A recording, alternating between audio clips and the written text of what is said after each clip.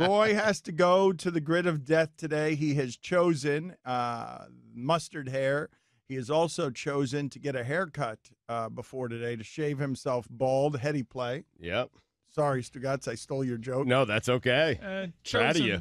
chosen really isn't how it went down. Basically, there were like three grid of death losers that needed to pick of them, and two of them were white. Yeah. And two of them just looked at Roy because it was the last thing left on grid six, and they're like, "Help us out here, man. It's a lot worse for us." You guys owe me one.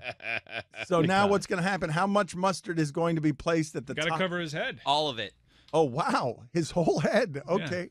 Oh, I Oh, didn't- my whole head. It's mustard hair, not mustard bangs. Isn't it going to drip down though? Isn't there going to be a dripping? If it problem? drips, it drips. I mean, it's the All grid right. of death. I mean, All right, well, go ahead and get started there. Realize what Roy's gonna get here? He's gonna get some of that liquid that comes Nah. out at Oh, the shake beginning it of it. No, No, it doesn't yeah, matter shake how it much up, you shake shake it up, it. man. I'm trying to Shake make it it up. right. Anytime, Shake it up. It's any- brand new. It's brand new. There's none of that shake water. it up anyway. anytime I use ketchup, I squirt a little in the It's sink gross. first because you get that little first squirt in the sink with the juice, and then you're good to go.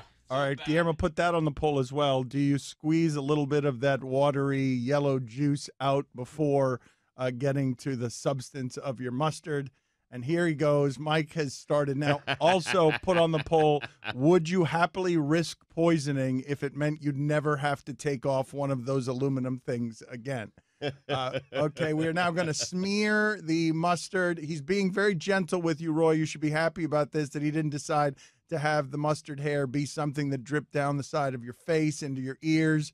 Uh, it is fairly disgusting, but he hasn't gone as thick as I thought he was going to go. Are you going to go all the way down to his Well, ears? you always got to do two coats, Dan. yeah, this is the first layer. I mean, that's all.